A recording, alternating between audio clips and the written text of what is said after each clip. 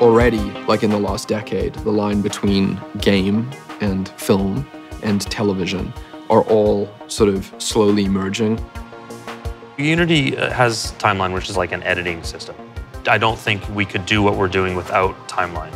We watch the piece live, and it's got everyone's updates all streaming in all at the same time. Timeline is basically a sequencing tool whenever you need to like orchestrate several different systems.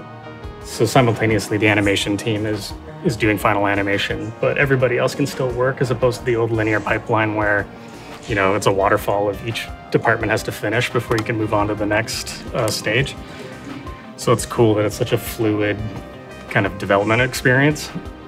We've got 30, 40 people working on this one, and we wanted to make sure that they were all able to actually get at their individual piece and work on it efficiently. That's probably one of the coolest things is just how we've actually been able to create this massive, massively scalable workflow for uh, working with Timeline.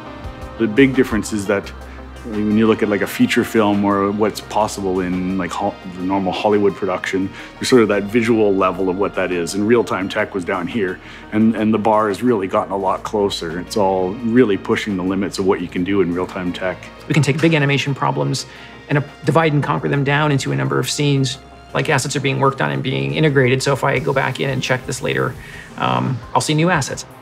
What Timeline does is it allows a single person, if they wanted to tell a story in it, they don't need an army of developers behind them.